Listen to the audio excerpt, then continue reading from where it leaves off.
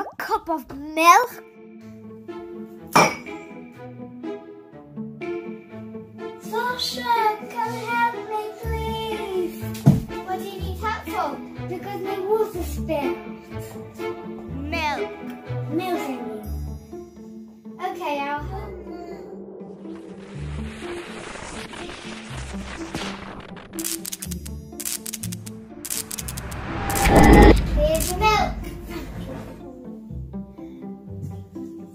I. Thank you.